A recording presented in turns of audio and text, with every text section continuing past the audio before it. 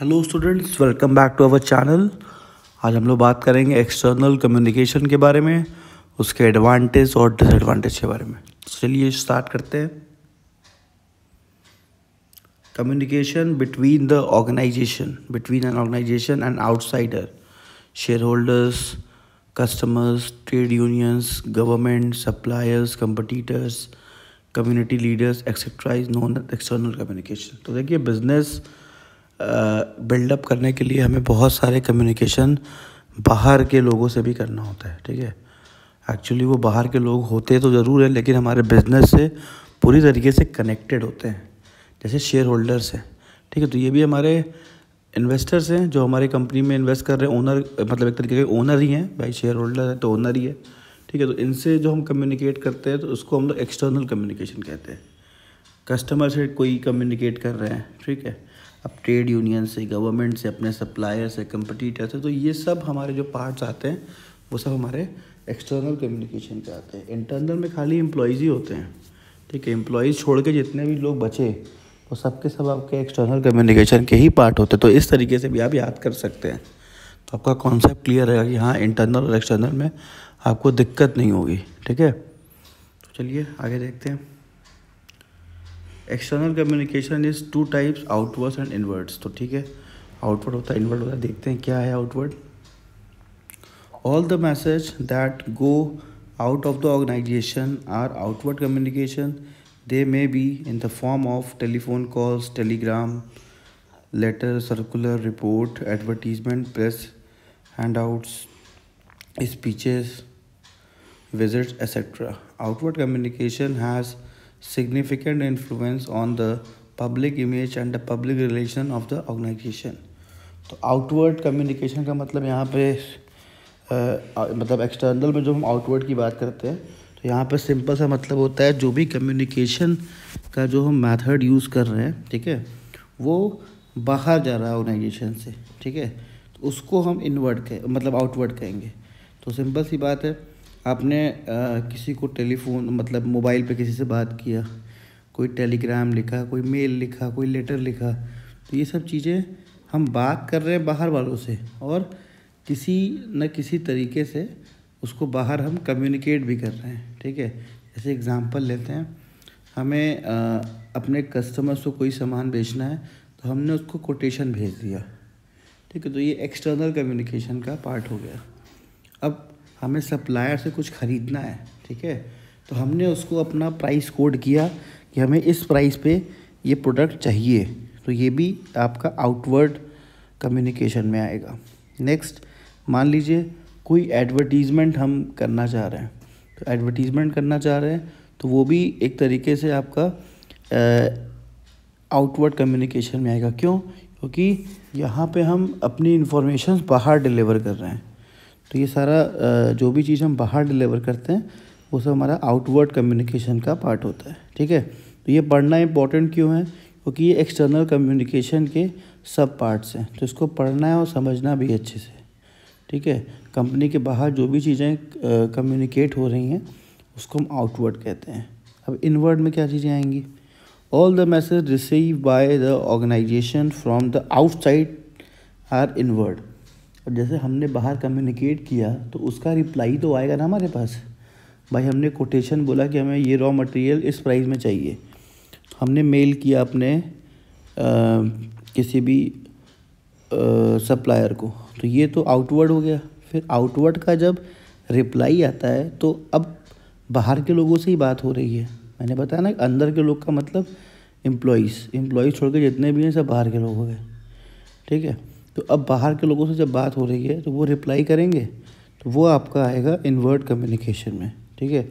तो सारा कुछ, जितना भी बाहर से चीज़ें हमारे कंपनी में आ रही हैं, कोई भी इंफॉर्मेशन जो हमारी कंपनी में बाहर से आ रही हैं, वो हम इसको इनवर्ड कम्युनिकेशन कहेंगे। चाहे वो न्यूज़पेपर प्रिंट हो रहा है, कुछ हमारे कंपनी के इन्फॉर्मेशन उसमें से हमको मिल रहा है, ठीक है? तो ये सारा कुछ आपका इन्वर्ट कम्युनिकेशन में ही आएगा। तो देखते हैं क्या है। All messages received by an organization from the outside are inward communication अब कैसे कैसे मिलेगा telephone calls telex message letters telegram magazines, visit, uh, brow, uh, visit browsers, etc. that come in our example of inward communication. They have to be recorded, studied, replied to, acted upon the stored. Inward communication provide valuable information to the organization. तो clear है ये भी?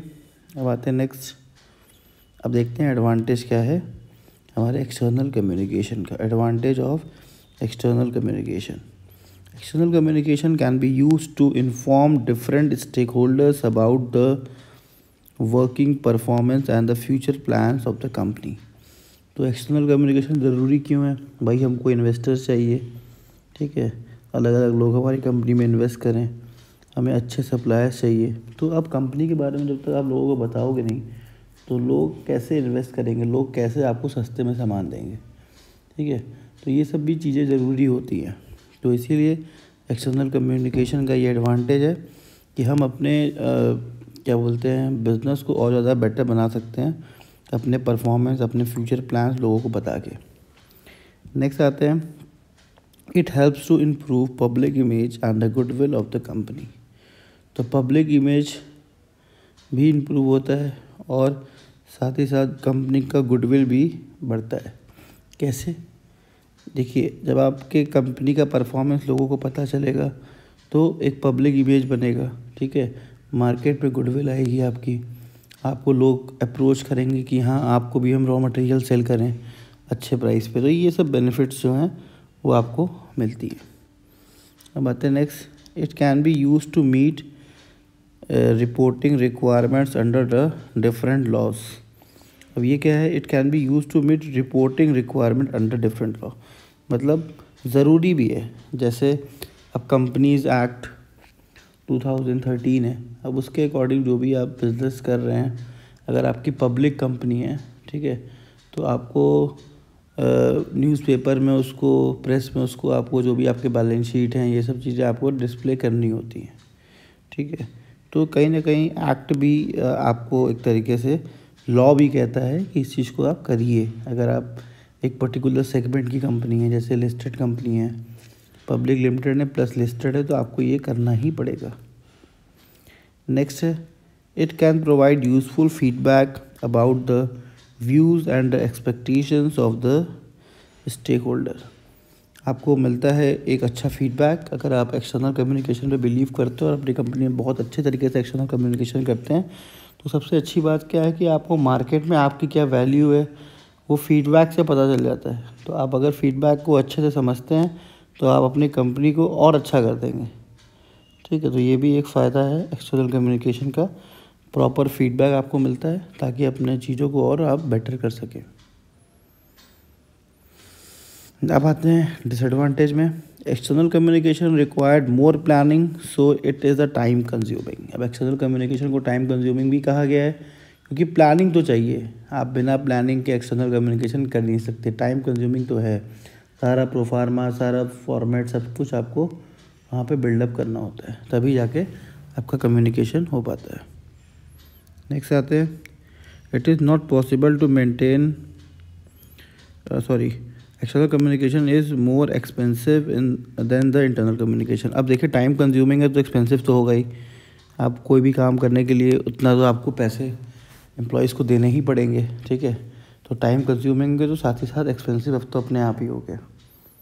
अब आते हैं next it is not possible to maintain secrecy there is the possibility of leakage of the business secret अब अब कभी अगर आपका कम्युनिकेशन इफ़ेक्टिव नहीं है तो ये आपके लिए प्रॉब्लम भी हो सकता है। आप चीज़ों को सीक्रेट नहीं रखेंगे।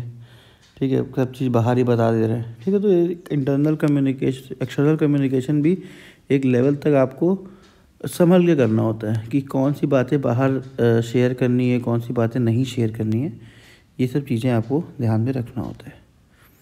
नेक्स्ट है in case of vague message और misinterpretation by the outsider the communication image में सफ़र अब देखिए कभी कभी क्या होता है, अब कुछ चीज़ें ऐसी होती हैं जो बाहर नहीं बतानी चाहिए।